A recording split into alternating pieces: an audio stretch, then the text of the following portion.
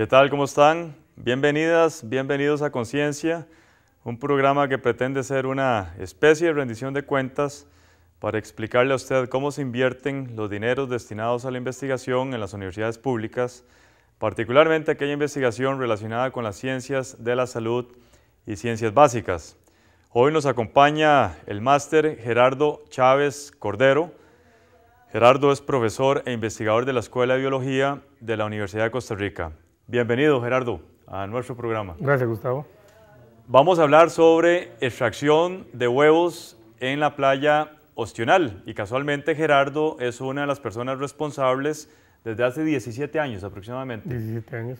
de eh, crear o generar la justificación científica que permite la explotación de este recurso. Gerardo, ¿desde cuándo hay presencia de la Universidad de Costa Rica en Ostional? Bueno, la Universidad de Costa Rica hizo presencia en Ostional desde inicios del- de los años 70. Eh, cuando un... No, no fue usted definitivamente. definitivamente que no.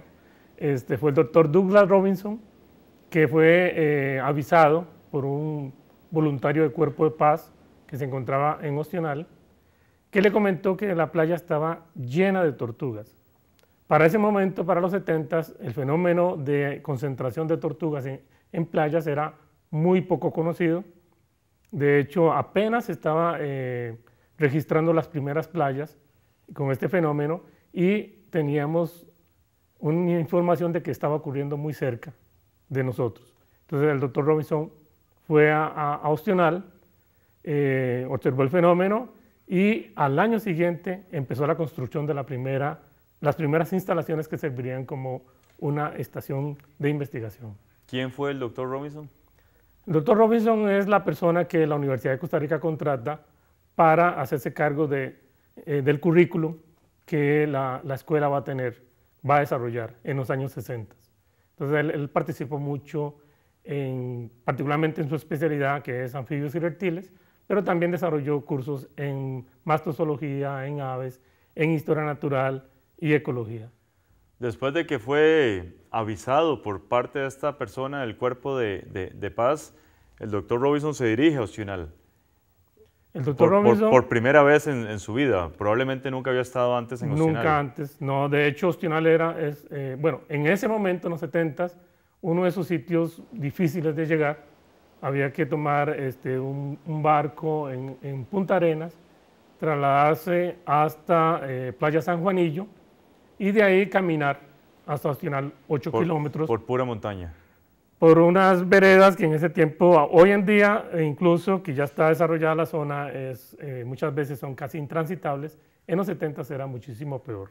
A ese fenómeno de congregación de, de, de tortuga nosotros le llamamos arribada. ¿Cómo es, cómo es que se da esa, esa, esa arribada? ¿Por, por qué eh, Ostional y no las playas vecinas? Que también ocurre, pero no en forma tan, tan, tan masiva. Bueno, hay que empezar eh, recalcando que arribada es una palabra técnica. Arribada eh, se usa en biología para eh, hablar de la concentración de tortugas para anidar, pero en forma sincronizada, eh, incluso sociable. Hay comunicación entre los individuos y eh, formada por muchos grupos pequeños de tortugas que eh, se reconocen entre ellos y tienden a anidar muy cerca. Entonces, una, una, gran concentración de ellos es lo que en Costa Rica se dice arribada y eh, el término se usa para, para todas las eh, playas que tienen estas características. Las otras playas eh, técnicamente no se les llama arribada, simplemente son playas de anidación, eh, digamos, normal.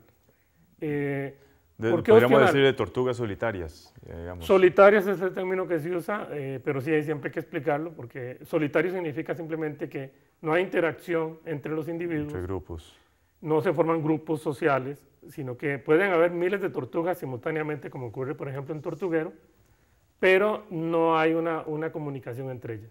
Esa es la diferencia. ¿Por qué en Ostional? Bueno, Ostional y varias partes eh, del mundo que tienen una característica particular, es, es, una investigación muy reciente que se tiene sobre este tema, eh, tiene la, coincidencia de que las corrientes eh, marinas que circulan alrededor del mundo pasan muy cerca de la costa.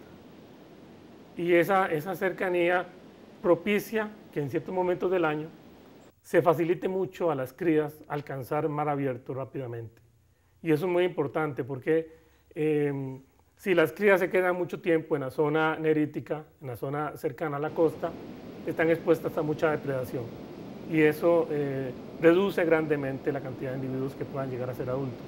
En la medida que las corrientes marinas alejan las crías de la costa, se mejora el éxito, la sobrevivencia y la posibilidad de llegar a ser adulto. De hecho, en, gran parte del mundo se ha registrado que donde pasa una corriente marina cerca, existe una playa con, muchos, eh, con una población grande, arriba de 20.000, por ejemplo. Entonces, aquí en, podríamos hablar en Mesoamérica, eh, eso, eso ocurre en, parte de México, que es donde está otra concentración de arribadas, y aquí en la zona cercana al Golfo de Papagayo y Punto Ostional. Interesante. ¿Cada cuánto tiempo tenemos una arribada en Ostional, Caché? Bueno, las arribadas es, es, es interesante, eh, tienen un comportamiento diferente la tortuga lora cuando se, se agrega en arribadas que cuando anida solitariamente. O sea, la, la mayoría de las, de las poblaciones alrededor del mundo anida cada 15 días. Pero cuando se forman arribadas, lo hace cada mes, básicamente cada 28 días, porque sigue el ciclo lunar y entonces este, tenemos al menos una arribada mensual. Interesante también en es que no solamente es mensual, sino que es a lo largo de todo el año. O sea, no hay, no hay una estación reproductiva como tal, solo hay un pico de nidación relacionado con la estación lluviosa, pero eh, es factible encontrar eh, arribadas en diciembre, enero, febrero, marzo, abril. O sea, cualquiera de estos meses secos, donde normalmente en otras playas no hay tortugas, de esta especie, en Ostional sí las hay. Lo único que varía entre meses lluviosos y meses secos es el número de tortugas. El número de tortugas, sí. Porque usted, mencionó que había un pico de arribación. ¿Qué entendemos por un pico de arribación? Bueno, en Ostional es diferente para otras playas de arribada. En Ostional, eh, eh, un pico de anidación, estamos hablando de cerca de medio millón de tortugas por kilómetro de playa eh, que se está durante una semana. En un kilómetro de playa esperaríamos tener medio millón de tortugas, 500 A lo largo de una semana, saliendo a anidar. durante, durante la arribada. Durante la arribada. En la estación seca sería mucho menos, estamos hablando de 5.000, 30.000 tortugas. Aún es un número muy alto para estar fuera de la, de la estación reproductiva de la, para la especie. Claro, claro. Permítame hacer una pausa y regresamos con todas y todos ustedes.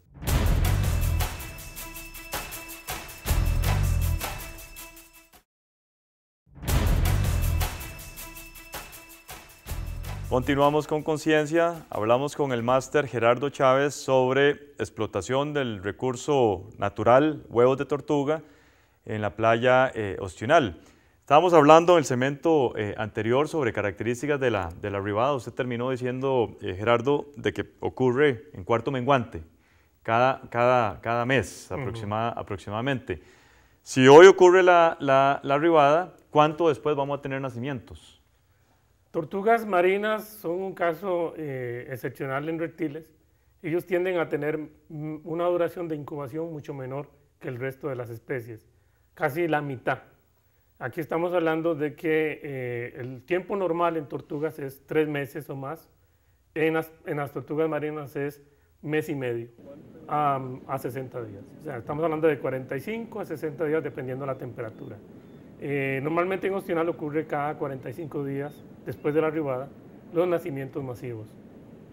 En nacimientos masivos estamos hablando de cantidades eh, tan grandes de, tortugas, de crías, que llenan totalmente la playa. Eh, de tal forma que incluso es difícil caminar sobre ella cuando esto ocurre. Puede darse el caso de un traslape, de, de que haya nacimientos y haya arribada al mismo tiempo. Muy frecuente ocurre esto. Eh, y es un momento también un poco trágico, digamos, desde el punto de vista de la tortuga, porque los adultos tienden a, aplastar a las crías, aunque las crías están hechas para soportar este, grandes pesos por ser eh, básicamente cartilaginosas. Sin embargo, a, veces hay mortalidad por esta situación, pero hay más mortalidad cuando los adultos sacan a, los embriones a, punto de, salir directamente debajo de la arena y entonces los exponen en momentos en que no están preparados para, caminar al mar e incluso favorecen la depredación por otros animales que están siempre esperando que la tortuga remueva alimento de, la arena. me imagino que cada una de estas tortuguitas recién, recién nacida está expuesta a muchos eh, predadores. Eh, hay, problemas con los perros, hay problemas con los opilotes en estas playas. Eh, ¿cuál, ¿cuál, es la principal causa de, de, que, de que no tenga la oportunidad de, de, llegar al mar? Bueno, los depredadores a nivel terrestre son una lista muy larga. Hay, hay, hay varios. Varios mamíferos, aves, reptiles, incluso anfibios. Algunos comen crías. Este, sin embargo, la depredación per se va, va siendo importante en la medida que, la, que, el estadio de desarrollo de la tortuga aumenta. Entonces, por ejemplo, la depredación a nivel de huevo es este, relativamente inocua porque la tortuga pone muchísimos huevos, eh, lo que da cabida a que no hay depredador eh, que aguante comer tanto. Una tortuga en todo su, su periodo de reproducción puede depositar 4.000 a 6.000 eh, huevos eh, esto es un lapso más o menos de 20 años. Y entonces es difícil, es difícil que depredación a este nivel sea importante. A nivel de cría ya, ya, ya tiende a ser más importante. Eh, ahí tenemos las aves como principal depredador. Sopilote principalmente. por cantidad. Por cantidad, digamos, en Ostional sopilote es importante, pero son las garzas y este, la, la Micteria americana, por ejemplo, que nos visita eh, cuando hay nacimientos nada más, es este otro, otra especie que, que, aprovecha mucho los huevos. El problema del sopilote con la depredación es que el sopilote es más carroñero. Entonces, tiende a, durar mucho con la presa sin aprovecharla. En cambio, las garzas, como son depredadoras, consumen las crías, eh, cada picotazo es una cría que se traga. Entonces, ahí cambia la, efectividad. Lo que pasa es que por número, sopilotes sí son importantes. Se dice que eh, eh, estas tortuguitas que nacen en, en regresan eh, cuando son adultas a depositar sus, sus, huevos en Ocional. ¿Eso está demostrado científicamente, Gerardo? Está demostrado que en, básicamente todas las especies de tortugas es, es, es, es, así, y incluso en otras especies también de tortugas terrestres, y va más allá en anfibios también puede pasar, que los sitios reproductivos son muy muy, muy especiales para ellas. Por curiosidad científica, ¿cómo sabemos eso, Gerardo? Bueno, em, por ejemplo, en anfibios se ha hecho con marcaje, eh, con transmisores, ya que como no se, no se difunde mucho, eh, se pueden seguir. Con tortugas marinas es más complicado usar este método. Se ha utilizado marcaje usando cirugía, cambiando placas del, del pecho a la espalda y viceversa, y se ha visto como cómo aparecen individuos con este cambio de, escamas eh, cuando, cuando llega el momento reproductivo. Pero la, la, confirmación más importante ha sido a través de estudios moleculares, donde se demuestra claramente el parentesco que tiene la población. o sea, cada individuo que llega está realmente emparentada con, la que, con las que están ahí y son diferentes a las de las otras playas. ¿Nacen, ¿Nacen hoy y cuánto tiempo después regresan? Varía, varía con las poblaciones. Eh, hay que recordar que las crías salen rápidamente al mar y el mar abierto es un sitio que tiene muy poco alimento. Eh, de hecho, se desconoce para muchas especies dónde estarán en el mar abierto. Eh, entonces debe ser un sitio todavía más limitado de alimentación. El crecimiento es lento ahí. dura décadas en, en llegar a ser adulto Normalmente se espera que dure entre una y dos décadas para la mayoría de las especies, pero hay poblaciones en que se ha llegado a, estimar que pueden durar hasta 70 años en, volver como adultos. ¿Qué tipo de datos generan ustedes en, el campo, propiamente dicho, Gerardo? Bueno, nosotros monitoreamos básicamente el, uso de la playa por, parte de las tortugas. En este sentido es simplemente ver cuántas diariamente están eh, distribuyéndose a lo largo de la playa ¿Y qué pasa con esos nidos?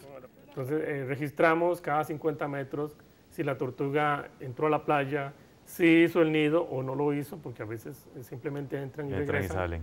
Otras, las que anidan, entonces le damos seguimiento a ver si fueron depredadas o sobrevivieron. Em, si son depredadas, registramos quién las depredó. Em, ahí establecemos grupos importantes de depredadores, entonces tenemos los perros como, como muy importante en, un ambiente culturizado como es opcional, pero de animales propios de la zona, por ejemplo los mapaches en ciertas áreas son importantes y sopilotes. Esos son básicamente los que más depredan huevos. A nivel de crías, no hacemos seguimiento de depredador individual, sino que eh, cada cierto tiempo evaluamos eh, por medio de transectos cuánto, cuántas crías son depredadas por un número de, depredadores, presentes.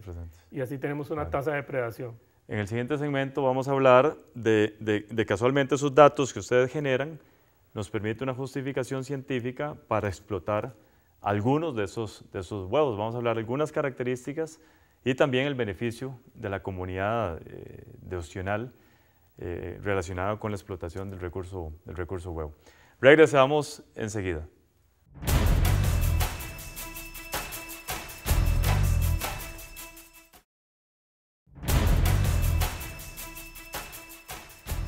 Continuamos con conciencia, hablamos con el profesor máster Gerardo Chávez sobre la explotación del recurso eh, huevo de tortuga en playa eh.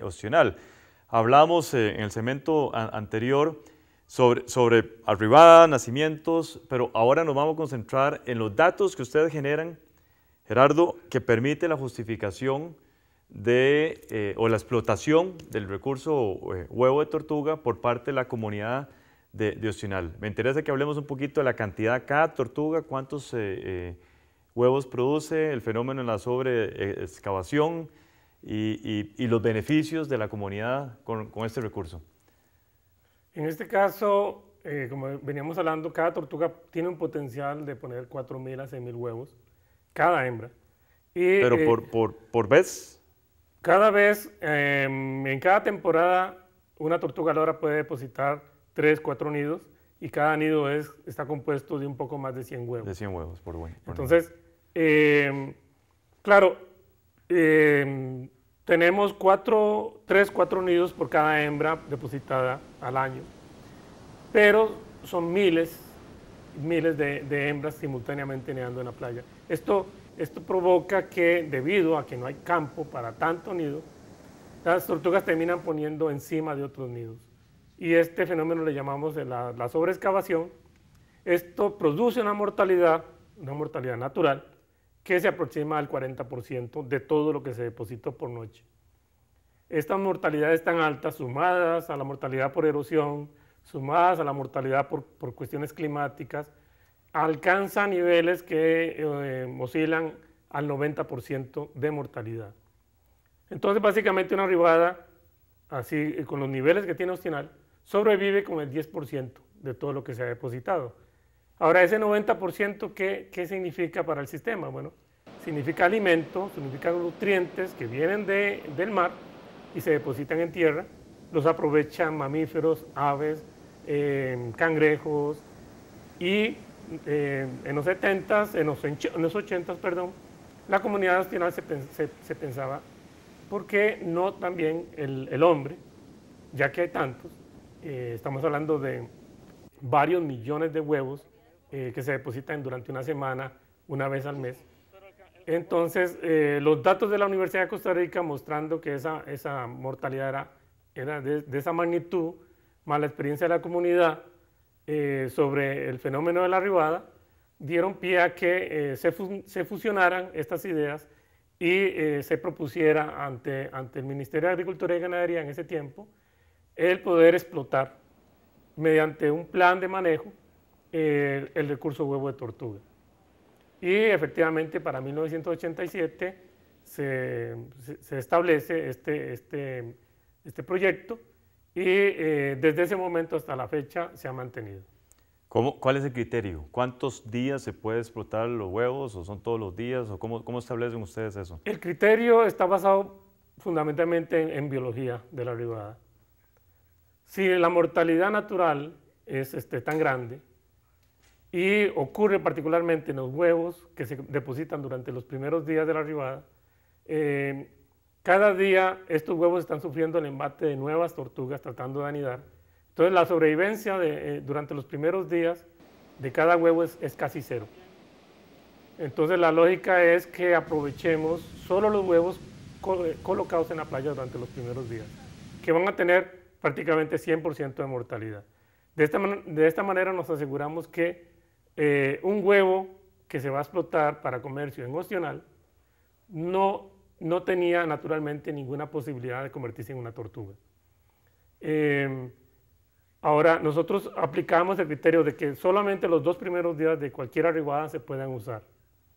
Y un tercer día para eh, eh, coger huevos para alimentación, que incluye tanto la comunidad opcional como algunos algunas, pueblos cercanos a esta. De esta manera, seguimos manteniendo en estas comunidades una nutrición que ya hace tiempo está funcionando alrededor del huevo de tortuga disminuimos la presión eh, sobre el, recurso, y dejamos para la conservación los, eh, todos los días a partir del tercero, que sería a veces hasta siete días o más, son solo para conservación, además que solo se explota un kilómetro de la playa y en este momento tenemos siete kilómetros del fenómeno, o sea, hay seis kilómetros para conservación, uno para explotación y de ese y ya, y ya, ya para relacionar a la comunidad eh, humana, ellos mismos participan en el proceso de conservación después del tercer día. O sea, e, extraen uno y dos y en el tercer día ya ellos mismos participan en el proceso de conservación,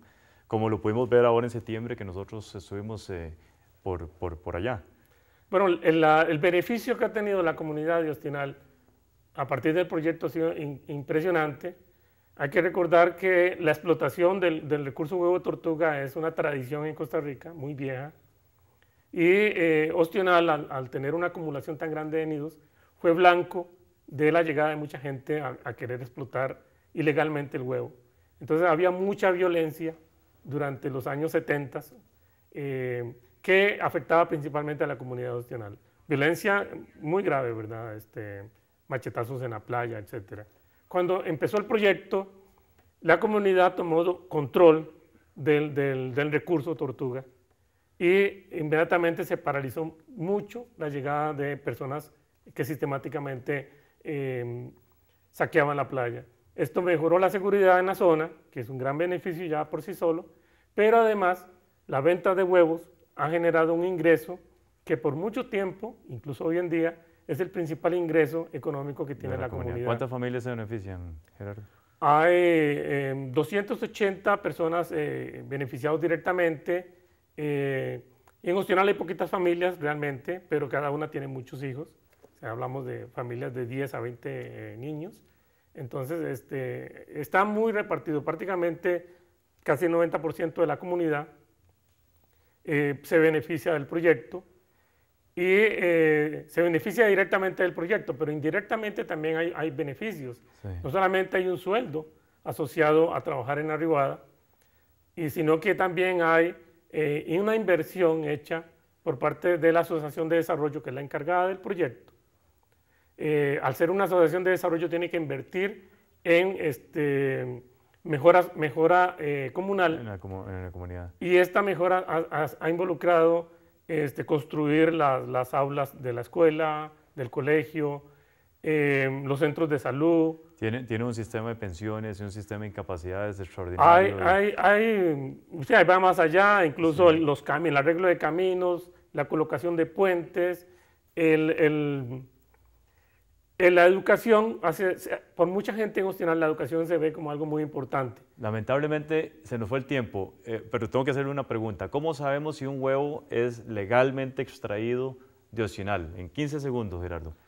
Eh, todos los sitios que reparten huevos de Ostinal tienen que tener eh, facturación de Ostinal que tiene membretes de la zona. Además, cada, cada distribuidor está notificado en asociación. Entonces, eh, basta con consultar a la asociación o, al, grupo que trabajamos allá en Ostional y se sabe claramente si eso es un sitio de repartición de, huevos de tortuga. Pensamos en este momento, incluso estamos trabajando en posicionar el, huevo en un, formato, eh, en una presentación eh, que lo separe totalmente de, los ilegales. pero eso está empezando este año como el nuevo plan en los próximos cinco años de desarrollo del proyecto. Le agradezco mucho que compartiera toda esta experiencia de 17 años con nosotros aquí en Conciencia y ojalá que eh, futuras investigaciones eh, permitan el desarrollo sostenible, porque eso es un claro ejemplo de, desarrollo sostenible a partir de un recurso natural. Muchísimas gracias, Gerardo. Gracias a vos, Gustavo. Gracias a todas y todos ustedes. Me permito invitarlos e invitarlas a continuar con la programación de canal UCR de la Universidad de Costa Rica.